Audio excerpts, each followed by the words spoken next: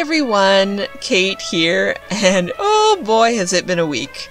Between struggling with ongoing hand pain, enduring a major heat wave, and fighting some rather frustrating technical issues with my videos, I've already had to scrap three nearly completed videos in the last week.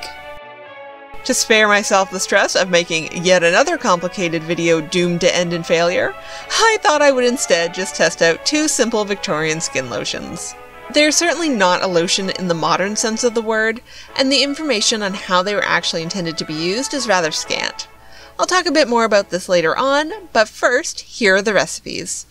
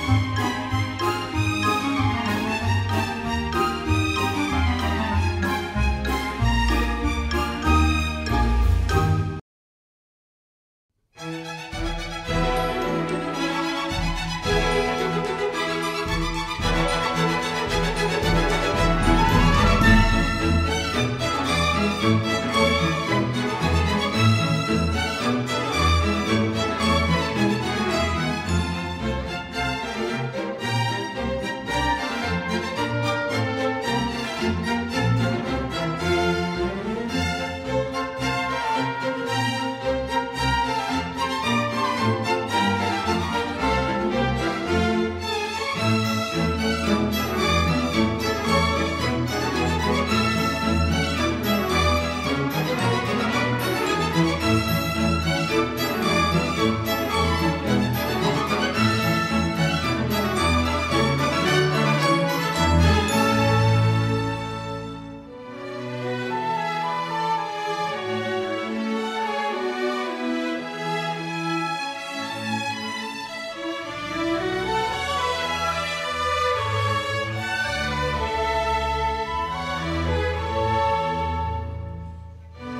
As the original book doesn't give any information about how these lotions were intended to be applied, I've opted to use a small bit of flannel with each lotion.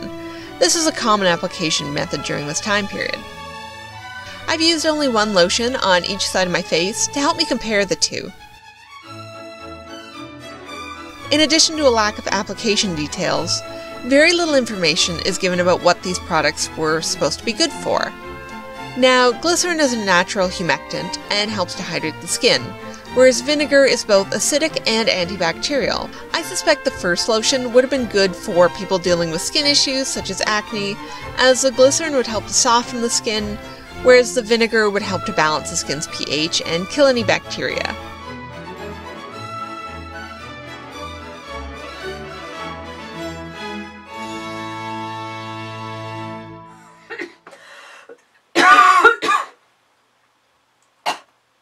Second lotion was probably purely intended just as a lightweight moisturizer.